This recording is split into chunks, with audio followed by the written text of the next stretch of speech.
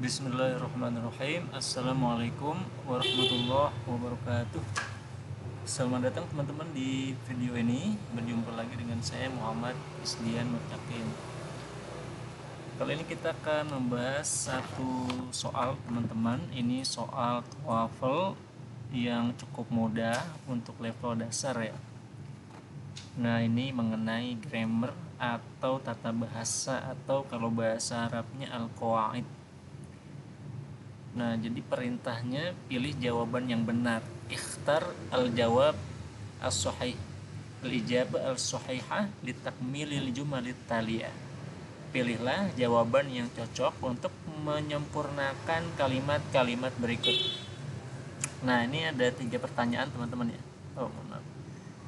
Nah, yang pertama Fatimatu ila suki al-barihata Fatimatu ila suq el barihata.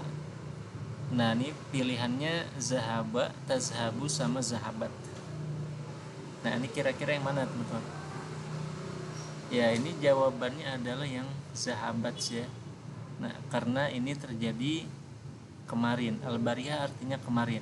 Fatima pergi ke pasar kemarin Nah, karena waktunya kemarin berarti menggunakan kosakata masa lampau yaitu zahabat.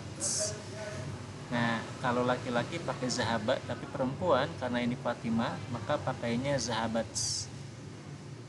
Oke, teman-teman. Cukup mudah ya.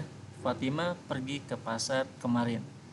Zahabat Fatimatu ila suqi al-barihata Oke, karena dia perempuan maka pakainya zahabat dan ini adalah fi'il maldi atau kosakata masa lampau.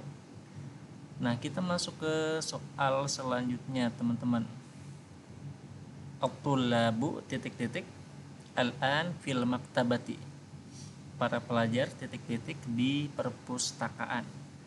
Nah, ini pilihannya yadrusuna, darosu atau yadrusu. Oke, kalau yadrusuna ini untuk orang banyak lebih dari satu lebih dari dua ya. Nah, dan ini untuk masa kerja sekarang dan masa depan fi'il mudhari. Nah, kalau darosu ini untuk masa lampau. Ini juga untuk jamak. Nah yadrusu ini untuk satu orang dia satu orang. Nah kalau kita pilih di antara tiga ini maka yang paling cocok adalah yang hamzah ya yadrusuna. Karena dia waktunya sekarang Nah, maka menggunakan fi'il mudhari yaitu yadrusuna dan dia ini untuk orang banyak ya, maka jawabannya yadrusuna. Oke. Oke, kita lanjut satu lagi teman-teman ya. Ahtaju ila qiraati eh ahtaju ila titik-titik alkitabi qabla limtihani. Ahtaj artinya aku butuh ila eh, butuh kepada eh, titik-titik buku sebelum ujian. Nah, yang pasti jawabannya membaca ya. Saya butuh membaca buku sebelum ujian. Nah, tapi bentuk katanya ada tiga pilihan nih teman-teman. Ada yang kiroah, yakrou sama korotu. Nah, karena yang dicari ini kata benda, maka kita menggunakan masdar. Nah, sedangkan yang dua ini adalah kata kerja, teman-teman.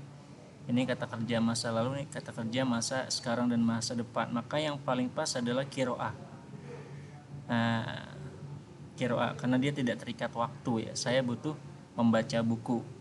Uh, membacanya tidak terikat waktu karena tidak harus sekarang atau kemarin. Maka jawabannya adalah ini karena menurut struktur ya pasangannya ini kan kata kerja ya.